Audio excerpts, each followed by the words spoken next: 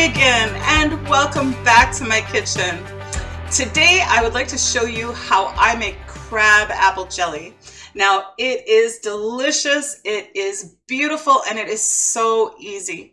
The wonderful thing about most crab apples is that they are so high in natural pectin that to make jelly out of them, you don't need to add any additional pectin, you know, such as Sure-Jell or Pomona's pectin or whatever. They just have enough natural pectin that you can just add sugar to your crabapple juice and boil it and you're going to have a beautiful set. So this is so simple. Anybody can do this, all right?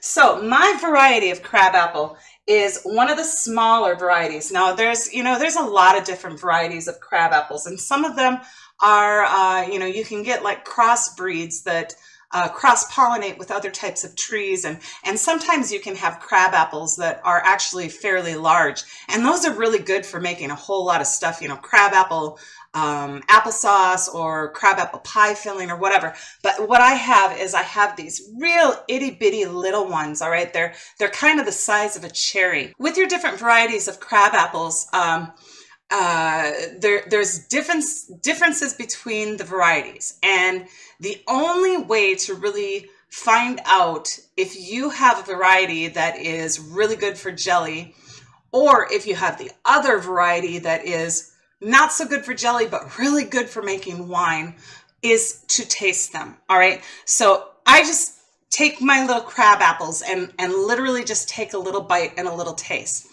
And what we're looking for is, of course, it's going to be very, very sour. But what we're looking for is if it's an overwhelming feeling of dryness in your mouth. If you have ever, if you have ever taken a little bit of alum you know, that white powder alum that we, some people use in pickles. Um, if you've ever touched your finger to that and put it in your mouth, it's just this, it, it dries out your entire mouth. It just makes your mouth almost glue together, all right?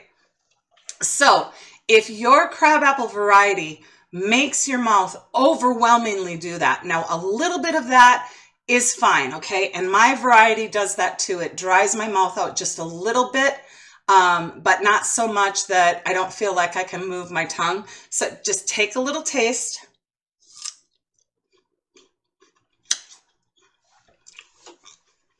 Yeah, it's sour. But I still have, um, for lack of a better word, well, it is what it is. I still have saliva in my mouth.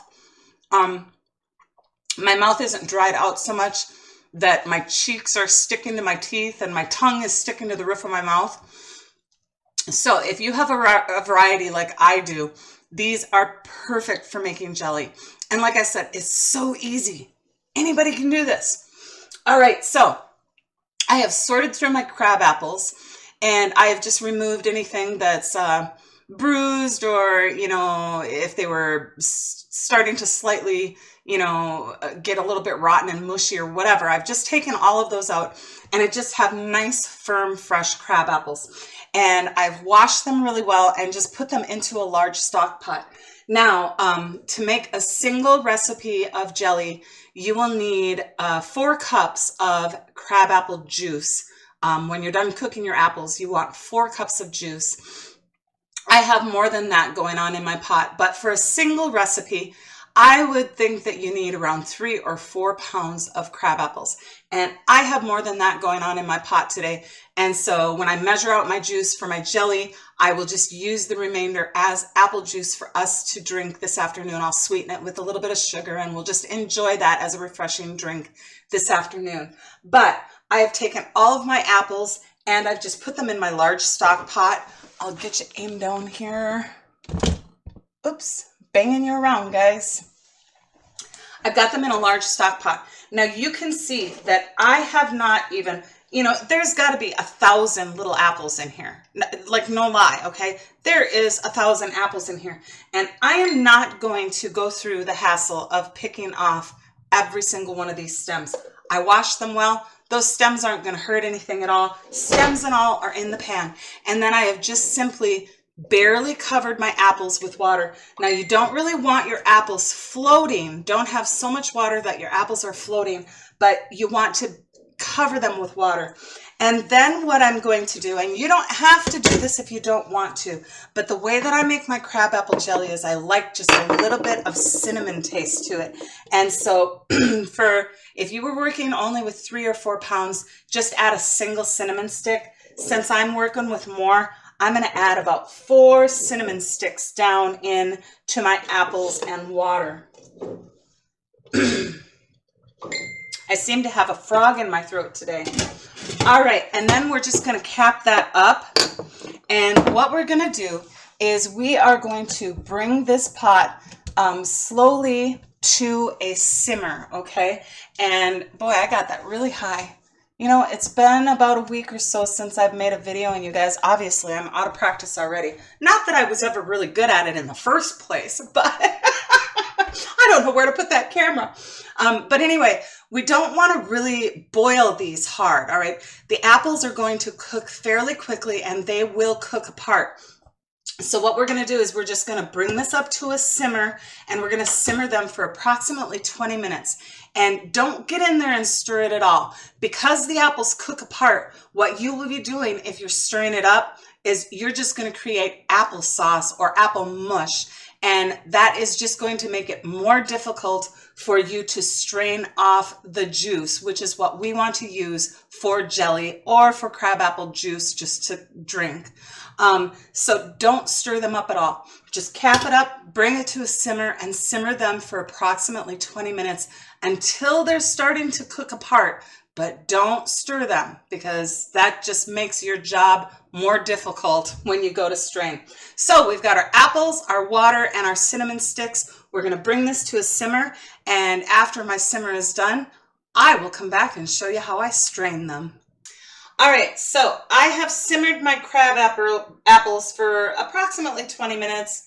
Maybe it was more like 30. I don't know. But um, I'll move this back. I kind of played a little Jenga on my stove. Oh, that's really hot.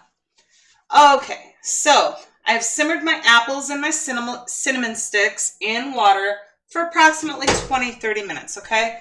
And I'll tilt this so that you can see kind of what is going on in my pan.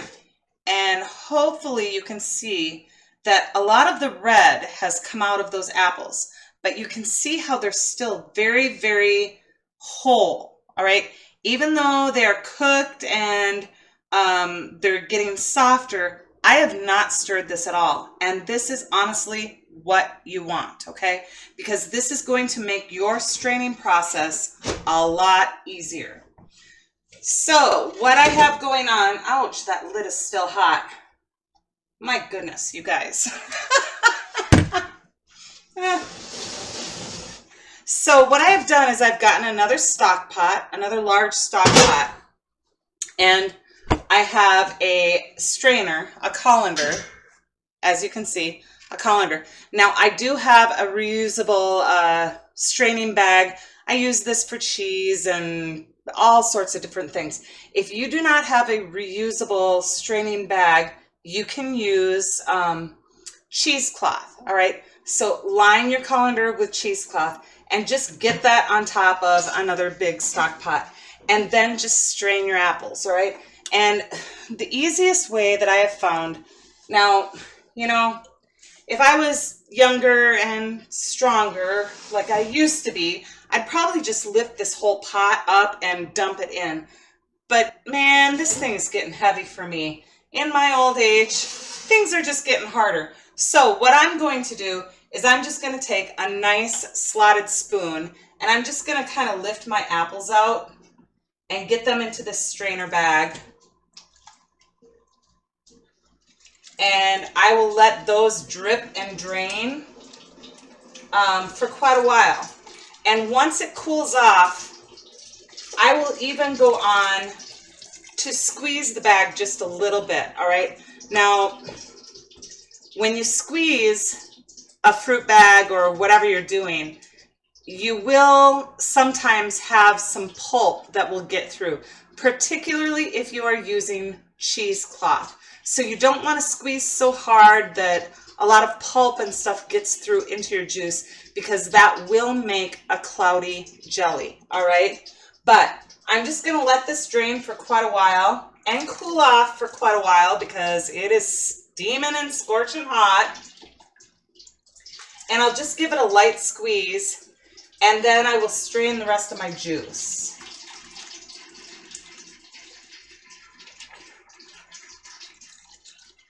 Oh, this smells divine. Just this apple and cinnamon, you guys. I wish there was smell-o-vision. I really do. This is just beautiful already. So I'm just going to go ahead and I'm going to get the rest of my apple pulp at this point in time into my strainer bag and I'm going to give it some time to just drain naturally. Then I'm going to give it a little bit of a squeeze and, and discard all the pulp and stuff that's in my bag. I'll just discard that. I'm going to feed it to the chickens, but and then I will come back and just strain the rest of the juice just so you can see how I do it. So I'll be back in just a few minutes. So I have allowed my apples to drain and cool quite a bit. And this kind of, you know, becomes a little messy. But you can go ahead and squeeze to try to get a little bit more juice out of your bag or your cheesecloth, you know, whatever you prefer to do. Because if you squeeze it, you are going to get more juice and final product out of your apples or, you know, whatever it is that you're straining.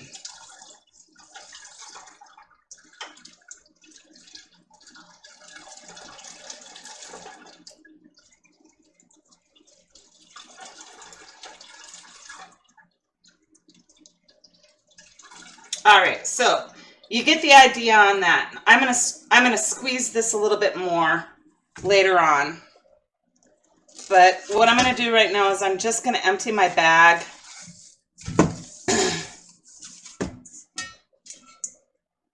and get my bag back into my strainer so that then I can finish straining what's left in my pan and the majority of the juice is still left in my pan. And it's light enough now that I can just go ahead and strain it very, very easily.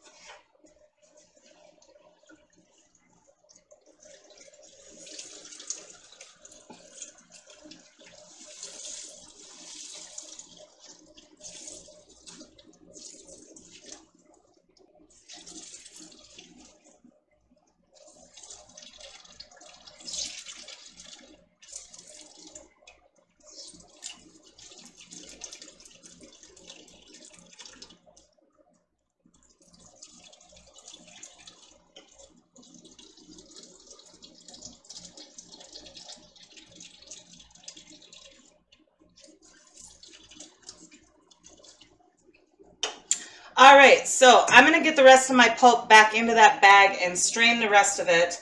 Um, but you get the gist of what I'm doing. So what you're doing is you're just going to have this absolutely beautiful crab apple juice. So I'm going to finish straining and squeezing and then I'll be back with the jelly directions. So I stored my crab apple juice in quart-sized jars in the refrigerator for a couple of days, and now I'm back to complete the recipe.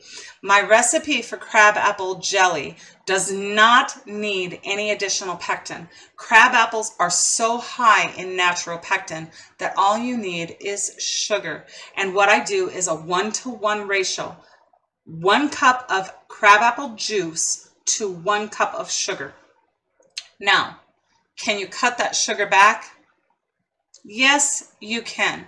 But you must understand that sugar is almost like a little magic wand, so to speak. When you cook any fruit apart, um, what you're doing is you're also cooking the pectin molecules apart, all right? The pectin molecules are all nice and, excuse me, all nice and put together in your fruit, you know, your apples or your berries or whatever it is. They're all stacked nicely in that fruit. When you cook them and boil them, you're pretty much scattering all of those pectin molecules apart, all right? And so in order to achieve a good jelly or jam set, what you need to do is reassemble all of those pectin molecules so that you get a good set. And sugar is the magic wand that reassembles all of those pectin molecules. So one cup juice to one cup sugar. Now, if you want to cut that sugar amount back, you can do that by half. Now, I do not suggest without any added extra pectin, say your Sure-Jell or your Pomona's. If you do not want to add added pectin, I do not suggest cutting your sugar back over one half a cup, all right? Because the proper amount of sugar is so important to reassemble those pectin molecules. Um, I find cutting it back to three quarters of cup never gives me any problems. Once in a while, if I cut it in half, back to one half of a cup, that's where I start getting setting problems. And so it's really, really important, even if you're following like a Sure-Jell or a Pomona's recipe on the box, um, if you're using regular pectin, and I'm just going to grab this right now, all right, regular Sure-Jell or Pomona's pectin, make sure that you are using the recipe called for amount of sugar, all right? That is going to make or break your success on jams and jellies. Um, if you want to cut back your sugar um, further uh, than what is recommended on these recipes, then you need to start thinking about looking into low sugar or no sugar pectins. And those are on the market, okay? Sure-Jell, um, definitely, I don't think I have one. I'm sorry, I'm looking in my little my little see-through drawer here. I don't think I have one on hand right now, but Sure-Jell definitely has a low or no sugar pectin. And that has been specifically created for lower sugar content jams and jellies. Um, but if you're going to cut back your sugar, you either need to look and search out that no low or no sugar type pectin or you need to stay in a safety zone of sugar that will will assure that your jams and jellies set okay? Hopefully i didn't get too confusing there in all of that uh, chatter. I guess that's what it is. It's chatter. But i really want you guys to understand that there is a whole science behind this okay? So another thing in the canning community is that you can't do double batches of jams or jellies because they will not set. Um, I am once again here to dispel that.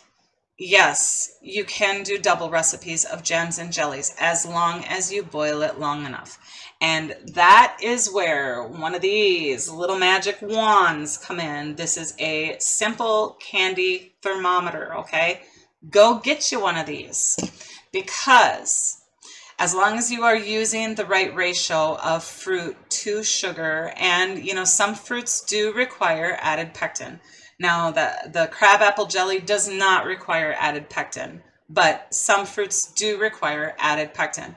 As long as you have the right fruit to sugar to pectin ratio and you boil that to 220 degrees on this little handy dandy candy thermometer, you will get a proper set. Now, the problem with most recipes is most recipes, um, you know, they have you uh, cook up your fruit or, or your fruit juice or whatever, and then you add their, their little box of pectin to it, and you bring that back to a boil, and then you add all of your sugar and you bring that back to a boil for one or two minutes and you're supposed to have total success all of the time. Well, I'm here to say that that second boiling after you've added all of your sugar of one or two minutes doesn't always work, all right? But what does work, with or without added pectin, 220 degrees on a candy thermometer, you will always have success as long as you have that correct ratio of fruit to sugar, okay? Now, if you're trying to cut back that sugar amount, you might not have success, but as long as you are in that ratio of fruit to sugar, you will have success at 220 degrees on a candy thermometer. So today, I'm going to do a double recipe of crabapple jelly. A single recipe requires four cups of crabapple juice and four cups of sugar. I'm doubling that today. I have my crabapple juice obviously in quart jars that I've tucked away in the refrigerator. I'm just going to pour eight cups of my prepared crabapple juice into a pan and I'm going to add eight cups of sugar. Now, I have cut back my sugar ratio just a little bit today. You can see that this huge measuring cup, eight cups of sugar is up here. All right, eight cups of sugar is up here. And I've cut it back to approximately six cups. So I have scanted my sugar just a little bit um, but it's not an overwhelming amount that I should have issues with the set of this jelly. So I'm going to get my juice and my sugar in a pan and we are going to start boiling this and I'll be back in just a minute.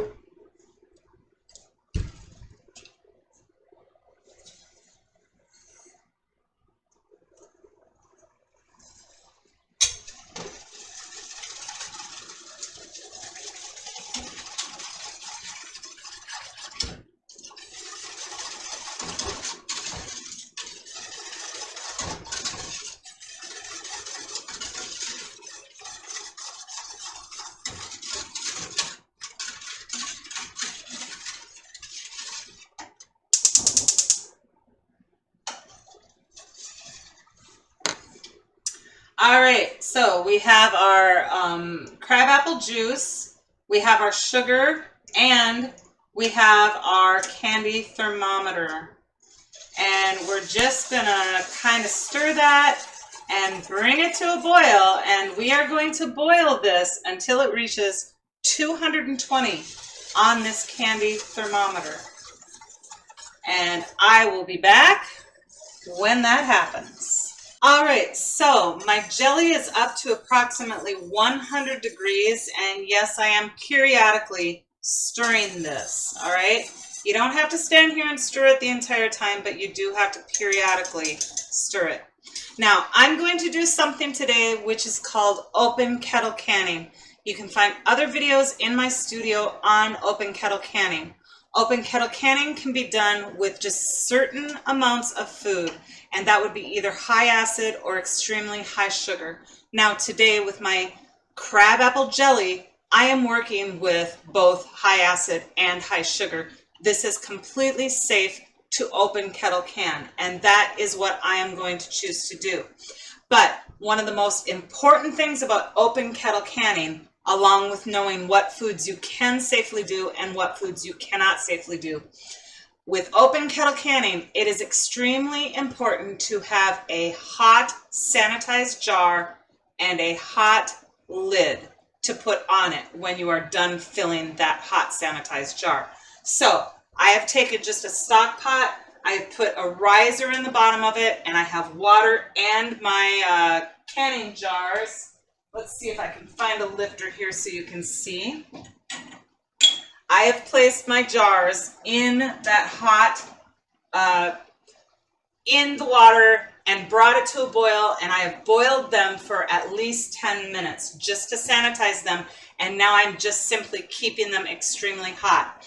Now my lids I have back here in another separate pan and I have put all of my lids and rings, if you are using a two-piece system, put them into water and bring them to a simmer, extremely hot, and just keep everything hot and sanitized until this jelly is done. So I'm just going to sit here and occasionally stir this jelly and allow it to boil until it reaches 220 degrees. Now, if you find that you are having really, really big um, foaming issues, all right, like you can see on the top of my pan here, I have some foam that is occurring. And you can sit here like I have done and just kind of with a spoon skim off some of that foam you know, you don't want to take all of your liquid with it, but you can skim off that foam. Now, if you're finding that you're having really, really big issues and your pan wants to boil over, another thing you can do is just add just a tablespoon of butter.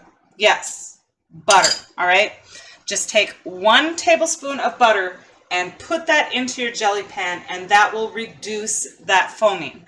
Now today, I don't feel like I need to do that. There are other jellies that I have done and even recorded where I have put that pat of butter in there. Today, this seems like it is under control and it's not foaming up too much on me, so I'm just not gonna bother adding the butter. I could add the butter, it's not gonna hurt anything at all, but I don't need it because it's not foaming up to the point where it wants to overboil the pan.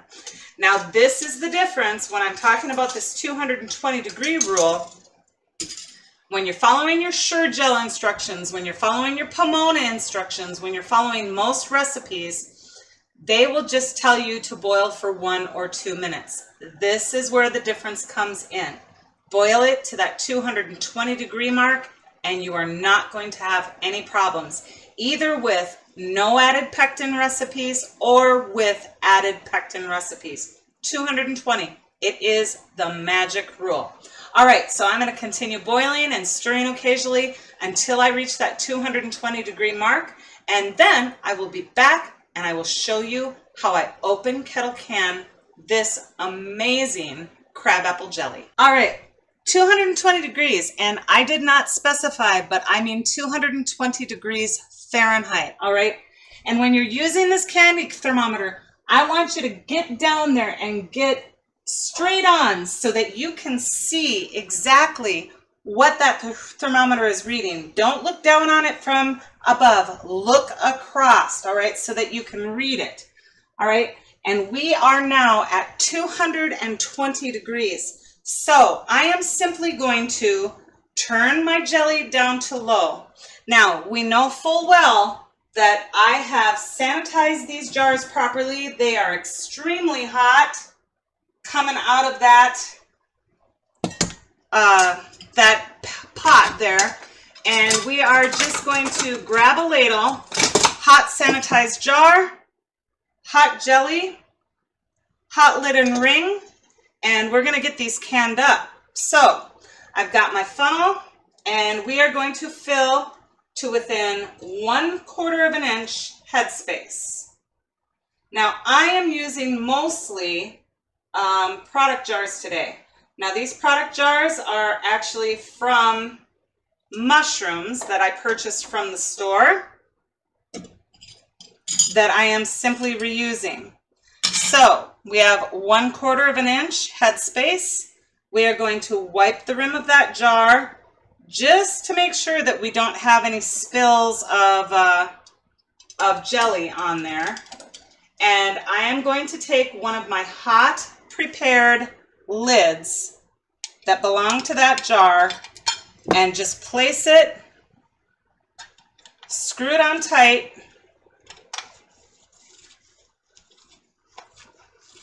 until it doesn't screw anymore, and then we are going to set it aside. Here I'll angle down just a little bit more for you.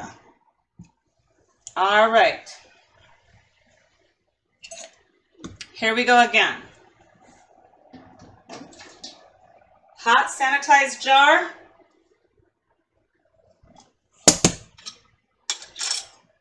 Hot jelly to one quarter of an inch headspace.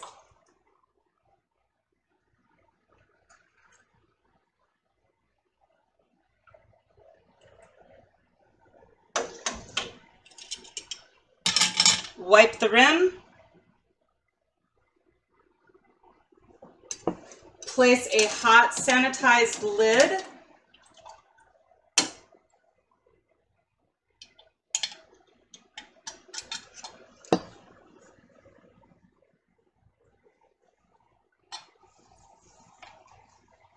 screw it on tight, and we are done.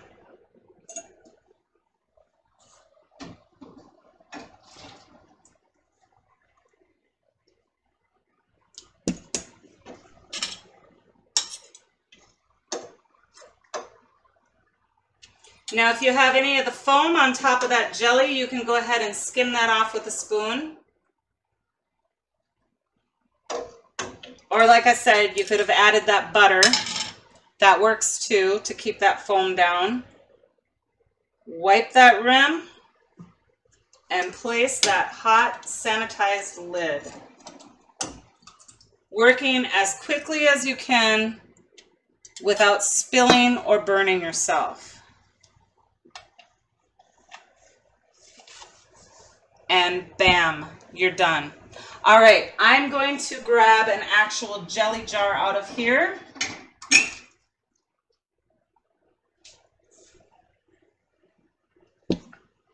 And we'll fill a two-piece lid um, jelly jar.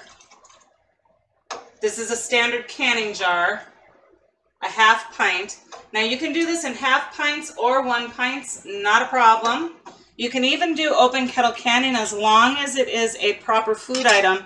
You can do them in quart-sized jars also, but I don't know of anybody that wants a full quart of jelly. Wipe that rim. Get that hot, sanitized two-piece lid system, the flat lid and the ring. And screw it on just a little tighter than you normally would if you were going to go ahead and hot water bath or pressure can. All right. I'm to, I've got hard well water. You can tell on my jars, I've got a little bit of um, calcium from my water. So I'm just wiping that off while it's still hot too.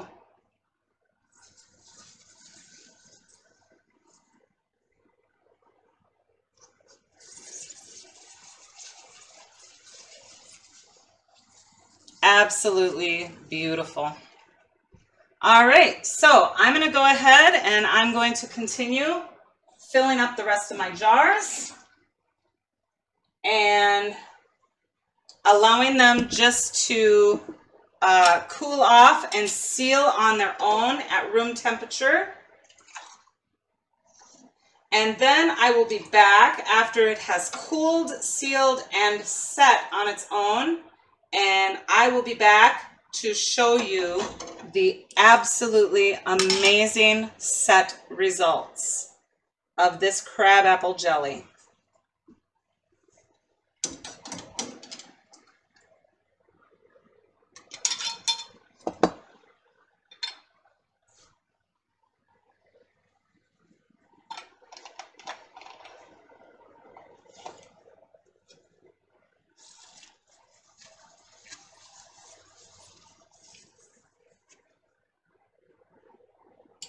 All right, so I'll be back in a few minutes. All right, so I have completed my jars and you can see that now these are little mushroom jars from the store. So I have two, four, six of those.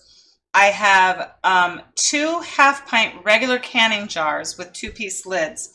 And then I didn't, obviously today, I did not sanitize and get enough jars ready. I have another pint and a half, another half pint, and another partial product jar that is not prepared either. So these three jars are just holding my excess that I didn't properly prepare my jars. I didn't get them sanitized and hot. And so they're just going to be eaten within the next couple of weeks. I'll keep them in the refrigerator, even if they do seal. Um, I didn't sanitize the jars, and so I do not feel okay with the safety level on this. But all of these were sanitized hot jars and lids. These were not. So, but what I came back to show you particularly is that with this 220 degree rule, I want to show you, I want to make sure that all of my my burners are off so I don't start a fire here. I want to show you, this is my jelly pan that you guys saw me prepare my jelly in, okay?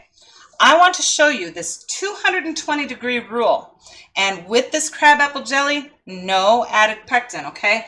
You can tell my empty pan, look at that.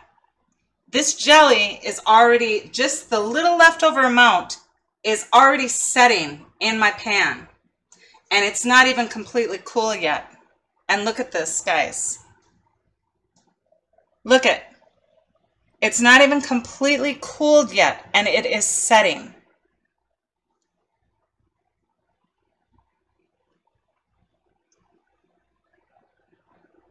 Two hundred and twenty degree rule. I swear by this. Um, as long as you have the proper fruit and sugar and pectin um, proportions, uh, I swear, it will just always set. It will always be a success and it will always be beautiful. So I'm going to allow these jars to cool and seal and uh, set up on their own. And as you can see, as soon as they cool, they're going to be set. There is no waiting two weeks or waiting a month in hopes that it's going to set up. 220 degree rule, proper amounts of fruit, sugar, and pectin, and you're gonna have success. So I'll be back when these are cooled and sealed, and I'll show you the beautiful set results. So we are back. All of my jelly has sealed and uh, cooled off and sealed. You can tell it's just absolutely beautiful. The color is beautiful, and I'll show you how wonderful the set is. Um, now, like I said, because the crab apples have so much just uh, natural pectin, I didn't add any pectin to this at all, but the 220 rule um, just works amazing. Um, now, of course, I have my three or four little containers that I didn't get, I didn't have enough jars prepared, and so um, those I'm not necessarily going to trust for shelf stability, and I will just put them in the refrigerator or share them with family or whatever and tell them that they have to eat them right away. But had I sanitized those jars, um, they would be absolutely fine for shelf stability. And these, of course, were properly sanitized, and so these are good for shelf stability. Now, um, these, like I said, are product jars. These originally had mushrooms in them, and they're I would say little four ounce jars uh, is about the size.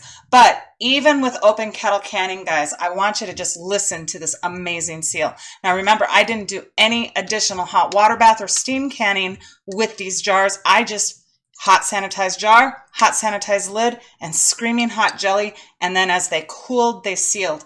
And so I just want you to listen and listen to this seal pop open. I can't even get it open. Oh my goodness, guys.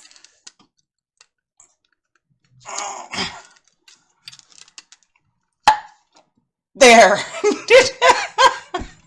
I'm getting so weak in my old age. That's just hilarious. oh, heavens. Anyway, so here is the jelly. Just absolutely beautiful. I'm going to show you how much I trust this set, okay? Now, yeah, it is a little jiggly, but I'm going to show you how much I trust this set. Look at that, guys. Totally upside down. Beautiful, beautiful. All right, so I've got my little piece of toast here. I'm going to just dig in with my spoon and show you how wonderful that jelly is. Let's just spread a little bit on my toast here. Oh, you guys, I'm so excited. every year I just, I love crabapple jelly. I love adding a little bit of, uh, a little bit of cinnamon as you saw to mine. Just, uh, mm, boiling the apples with a few little cinnamon sticks. Just amazing flavor, amazing color, and absolutely amazing taste.